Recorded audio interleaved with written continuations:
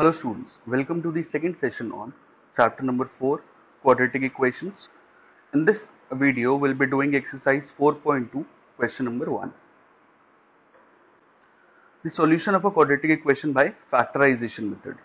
तो solution of a quadratic equation होता क्या सपोज़ अगर हमें क्वाड्रेटिक इक्वेशन दे रखी है A X square plus B X plus C equal to zero तो सॉल्यूशन का मतलब होता है कि x की या वेरिएबल की वो वैल्यू जो पुट करने से पूरे क्वाड्रेटिक इक्वेशन जो है ये ट्रू हो जाए।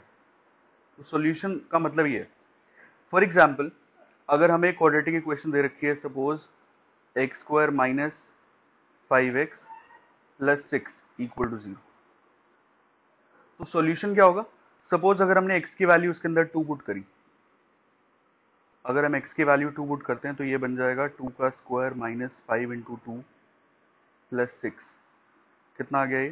Four minus ten plus six four plus six is ten ten minus ten is equal to zero और यहाँ राइट साइड में भी ज़ीरो अब क्योंकि जब हमने x की वैल्यू टू पुट करी तो आंसर इसका ज़ीरो आ गया, जो कि इसके राइट हैंड साइड के बराबर था. दैट मीन्स हम बोलेंगे कि टू जो है सोल्यूशन हो गया इसका. सोल्यूशन ऑफ़ क्वाड्रेटिक इक्वेशन ऐसी सपोज़ अगर हम थ्री पुट करके देखें तो तो ये बन जाएगा थ्री का square minus five into three plus six equal to zero तो this is nine minus fifteen plus six और ये आएगा minus six plus six which is equal to zero which is equal to the right hand side अब क्योंकि ये भी zero आ गया that means three जो है, वो भी इसका ज़ीरो हो गया. या three is also a solution of quadratic equation तो x की वैल्यू टू और x की वैल्यू थ्री दोनों इसके सॉल्यूशंस हो गए।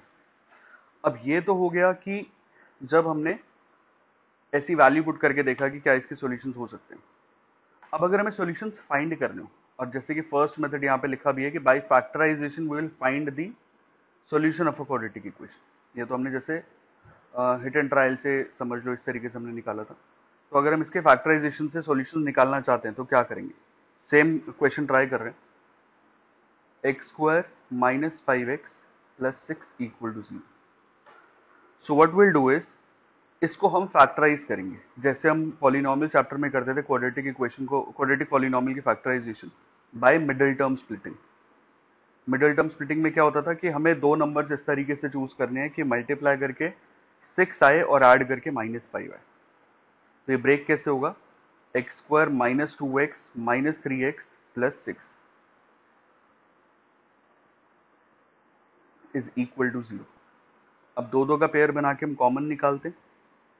सो एक्स कॉमन आया, अंदर बच गया x minus two minus three common आ गया, अंदर बच गया x minus two is equal to zero so x minus two यहाँ से दोनों से कॉमन आ रहा है, अंदर will be left with x minus three is equal to zero तो अब x माइनस टू और x माइनस थ्री का जो प्रोडक्ट है that is equal to zero अगर दो नंबर का प्रोडक्ट ज़ीरो आ रहा है, अगर मैं बोल रहा हूँ कि a इंटू बी का प्रोडक्ट ज़ीरो है तो इसका मतलब क्या हो गया?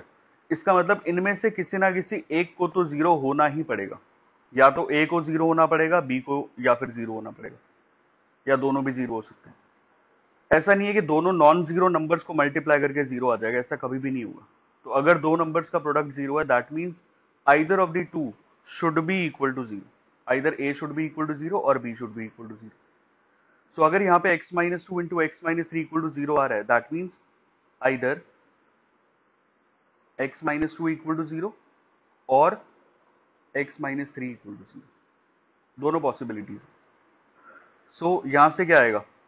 अगर x माइनस टू को ज़ीरो पुट करेंगे that means you will get value of x as two और the value of x as तो यही हमारे इसके क्वाड्रेटिक इक्वेशन के जब हमने पहले मेथड से किया था हिट एंड ट्रायल से तो यही हमने वैल्यूज़ टू और थ्री पुट करके देखा था।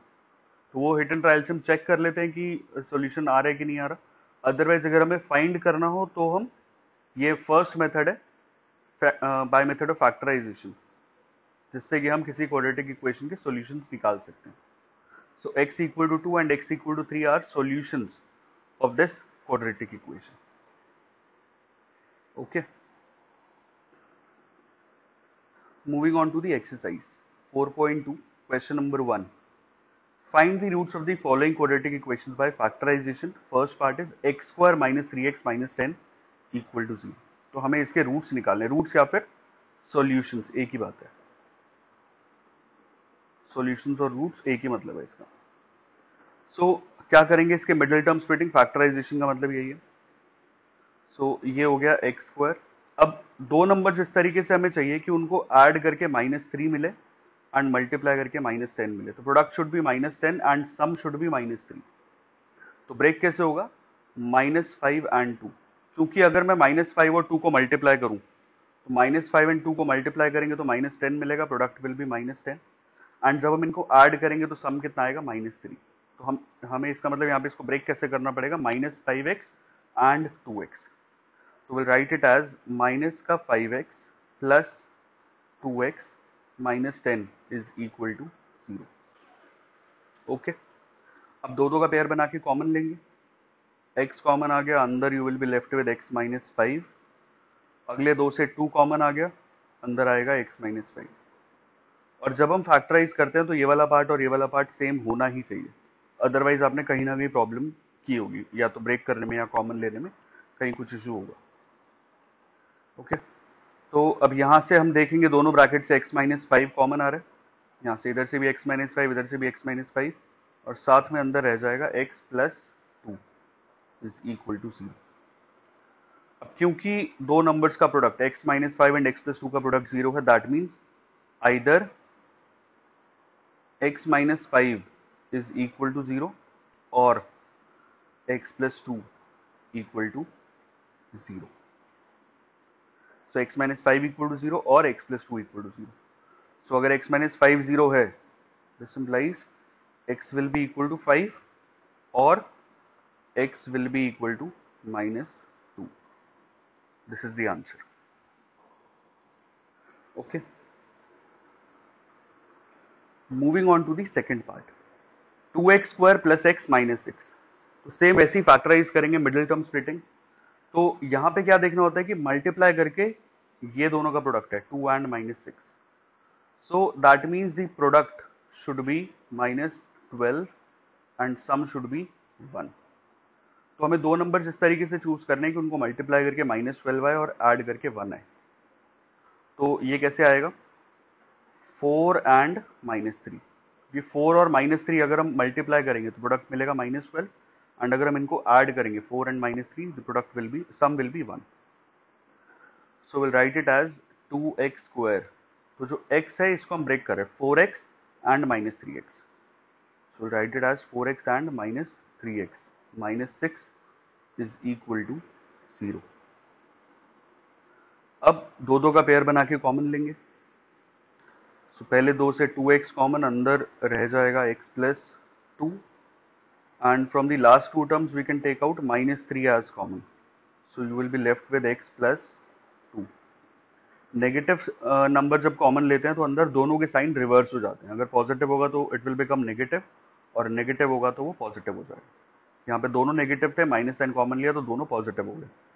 ये दोनों सेम आ रहे एक्स प्लस टू है, इधर भी x plus two so will take out x plus two common अंदर रह जाएगा two x minus three is equal to zero so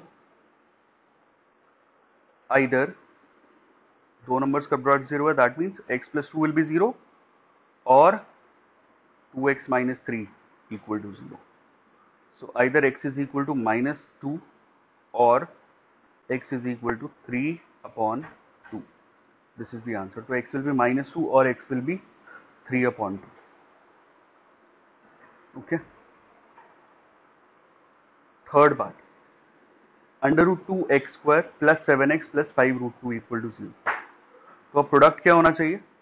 x square का coefficient and the constant term so the product should be root two multiplied by five root two which is ten root two into root two two हो गया। Two into five is ten तो product should be ten and the sum of the two numbers will be जो x का coefficient है seven तो हमें दो numbers ऐसे आइडेंटिफाई करने हैं कि प्रोडक्ट टेन आए और सम सेवन आए।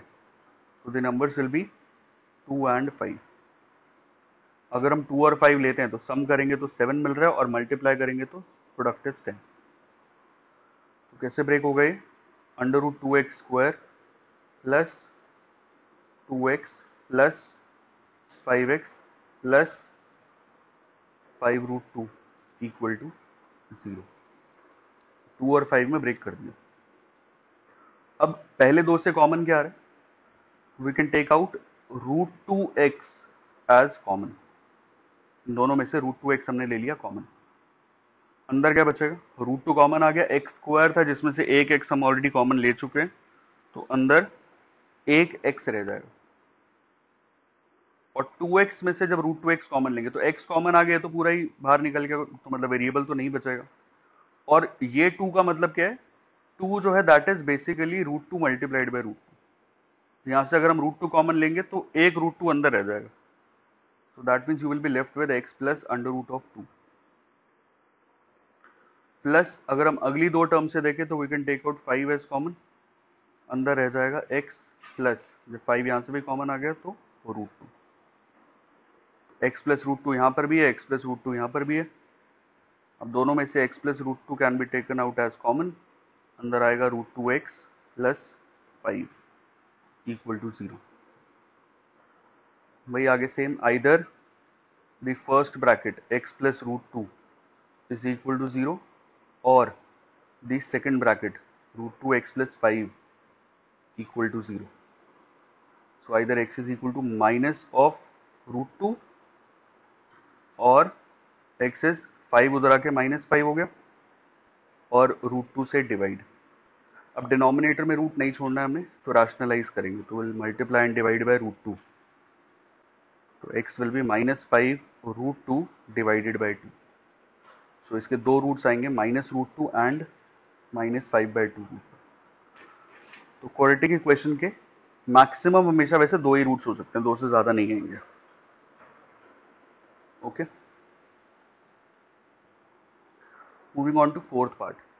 2x square minus x plus 1 by 8 fractions में डील करना थोड़ा सा मुश्किल रहता है तो हम क्या करेंगे? पहले यहाँ पे एलसीएम ले लेते सो so, अगर हमने यहाँ पे एलसीएम ले लिया एट तो ऊपर आएगा।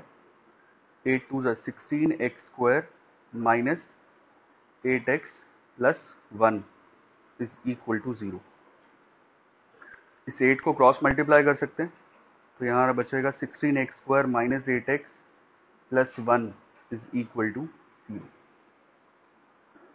अब फैक्टराइजेशन या आइडेंटिटी अगर आप लगा सको तो तो मल्टीप्लाई करके यहाँ पे क्या आना चाहिए? सिक्सटीन एंड वन जो प्रोडक्ट है that should be sixteen and sum should be equal to minus eight तो नंबर्स क्या होंगे? Minus four and minus four क्योंकि अगर हम मल्टीप्लाई करें माइनस फोर और माइनस फोर को तो प्रोडक्ट इज़ सिक्सटीन और सम कितना आएगा? Minus eight so that means minus eight x को लिखेंगे हम minus four x minus four x plus one is equal to C now we can take out four x as common from first two terms अंदर बचेगा x minus one और इन दोनों में से कॉमन क्या है? You can take out minus one as common अंदर रह जाएगा फोर एक्स अब क्योंकि नेगेटिव नंबर कॉमन लिए तो अंदर साइन रिवर्स होंगे। अंदर बाहर आ गया यहाँ पे माइनस वन और अंदर बचेगा four x and minus one is equal to zero so four x minus one multiplied by four x minus one is equal to zero so that means either 4x minus 1 equal to 0 or 4x minus 1 equal to 0. So x will be equal to 1 by 4 minus 1 उधर आगे plus 1 and divide by 4 और x is equal to 1 by 4. तो दोनों values यहाँ पे same आ रही है। अगर दोनों सेम भी आ रही है तो भी दोनों निकालनी ज़रूरी है। क्योंकि क्वाड्रेटिक इक्वेशन है तो दो रूट्स होंगे ही होंगे। यहाँ पे दोनों रूट्स इक्वल आ रहे हैं। Okay moving on to fifth part 100x square minus twenty x plus one is equal to zero अब प्रोडक्ट कितना आना चाहिए? Product should be 100 into one which is 100 जो भी एक्स स्क्वायर का कोफिशियंट और कांस्टेंट वाली term and this sum should be minus twenty अब कैसे आएगा प्रोडक्ट 100 आना चाहिए सम माइनस ट्वेंटी आना चाहिए। तो नंबर्स होंगे यहाँ पे minus ten and minus ten क्योंकि माइनस टेन और माइनस टेन को मल्टीप्लाई करोगे तो यू विल गेट हंड्रेड और जब इनको ऐड करोगे तो सम आएगा माइनस का ट्वेंटी तो अब hundred x square minus twenty को लिखा माइनस का टेन एक्स माइनस का ten x plus one is equal to zero. Now we can take out 10x as common from the first two terms. अंदर बचेगा 10x minus one. इन दोनों से minus one common, अंदर बचेगा 10x minus one is equal to zero. अब 10x minus one common आ गया, अंदर बचेगा 10x minus one. is equal to 0. So either this 10x minus 1 is 0 or this 10x minus 1 is 0. Either 10x minus 1 equal to 0 or the second 10x minus 1 is 0. So x will be 1 by 10 or x is equal to 1 by 10. So this is the answer. So with this we have completed question number 1. We'll do question number 2 in the next class. Thank you.